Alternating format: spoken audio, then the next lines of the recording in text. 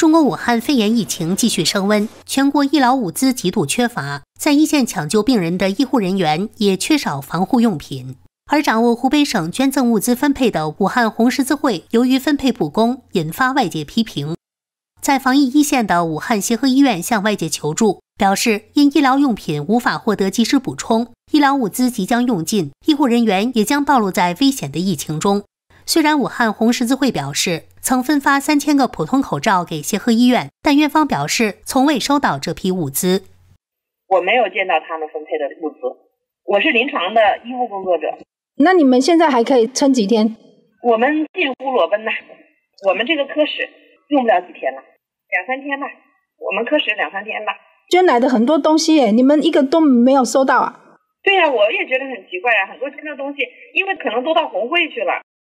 然而，另一家至今未开设发热门诊的莆田系妇科医院却得到一万八千个 N95 口罩。协和医院的曹青爆料说。这三千个口罩是协和医院科系老师的朋友从陕西用顺丰快递私下寄给他们的，但包裹到了武汉却被红十字会拦截，并宣称已交付协和医院。事实上，他们并没有收到。在舆论的压力下，红十字会工作人员发通知说，所有的医院、社区街道都可以开介绍信去领物资。然而，协和医院前往领取时却没有拿到任何物资，红会人员不发给他们。哪就是协和的？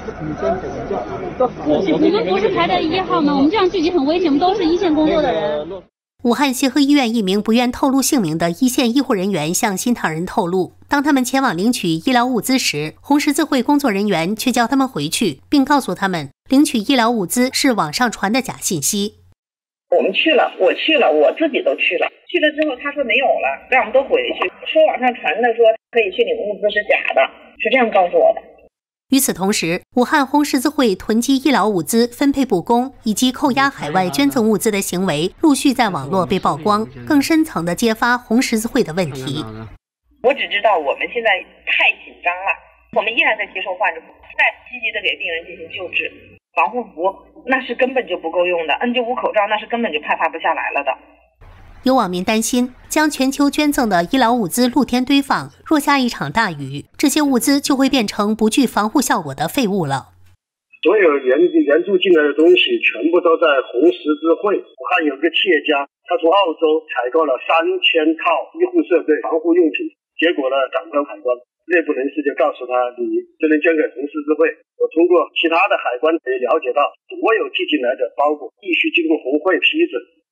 武汉志愿者张先生指出，现在所有的捐赠物资，受赠者都收不到。在舆论的压力下，中国官媒人民网一月三十一号表示，武汉协和医院急需的一批医疗物资已经送到医生和护士手里。报道说，联邦快递协助国际直接救济组织把物资运抵广州后，再运到武汉。由此可以看出，这些物资并没有经过武汉红十字会。